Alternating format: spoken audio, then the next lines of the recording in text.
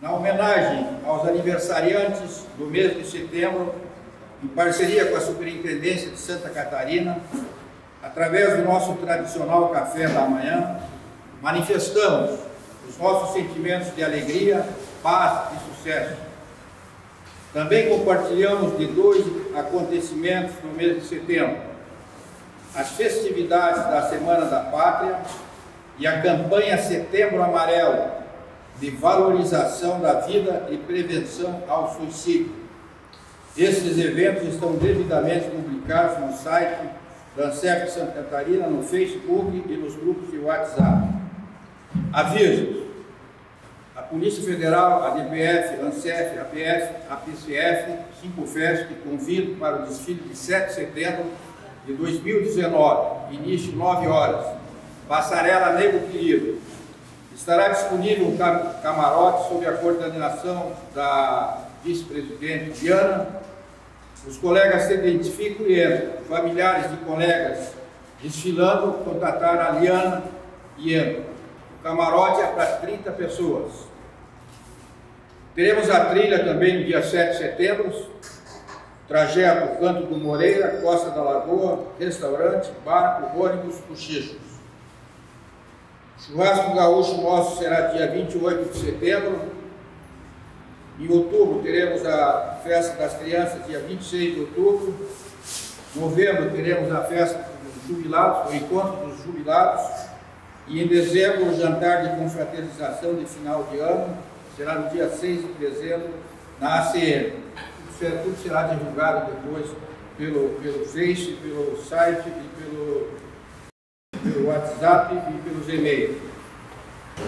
Bom, como dito, esse, esse mês nós estamos no mês de setembro amarelo. Né?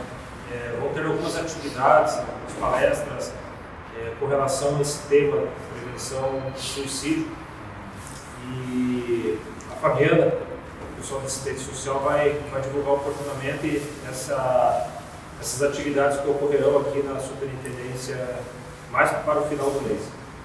Com relação ao desfile de 7 de setembro, é, nós teremos, como foi dito, o camarote, né, os familiares, os policiais os familiares, os administrativos, é, todos os servidores é, acompanharem o desfile. Mas nós também estamos precisando de voluntários é, para dirigir as viaturas. Né? Inclusive as crianças, os filhos que quiserem, podem ir dentro das viaturas durante o desfile. Tá? É, com relação o adicional de periculosidade que está caindo em algumas unidades, inclusive aqui na SR. Isso não é uma mudança da Polícia Federal, isso é uma mudança das normas do Exército que regulam é, a questão dos ambientes que são controlados, que, que tem esses adicionais. Eles fizeram uma alteração normativa. A nossa ideia, isso eu queria ter passar para os senhores, que isso atinge os, os terceirizados e os administrativos. É, passar para os senhores que divulguem, quando, até quando forem indagados, é, é o, o nosso contrato terceirizado e encerra no final do ano, nós faremos uma nova licitação. Semana passada eu estive em Brasília na reunião, é, foram três dias, foram passados algumas, alguns assuntos de interesse nosso. É, com relação ao velório, nós temos algumas aquisições planejadas ainda para esse ano. Uma delas são os uniformes, que a gente até soltou novamente o lembrete da intranet é, passar as medidas que os uniformes vão ser comprados agora em outubro. Já. É, também está prevista para esse ano a compra das novas viaturas.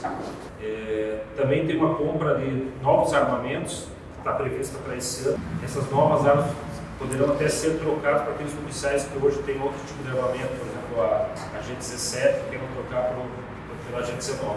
A questão do controle de excesso. É, eles vão adequar de acordo com os equipamentos que cada superintendente já, já tenha, para completar esse controle de excesso, a gente tem um controle mais efetivo. Todas as pessoas que circulam na superintendência, desde entrando pela garagem, entrando pela portaria principal, sistema de catrachas, para a gente ter uma segurança maior na superintendência. Tem uma compra também que está prevista no começo do que vem, que é um, é um eles chamaram de kit policial. Na verdade, será é, taser, folder de taser e algema que vai ser é, para todos os policiais, naquela, seguindo aquela, nova norma da, do, número de armamentos menos letais, né? É, então, já estamos tendo também o curso essa semana de, de bastão retrátil, que a gente é, pretende fazer, abrir novas turmas.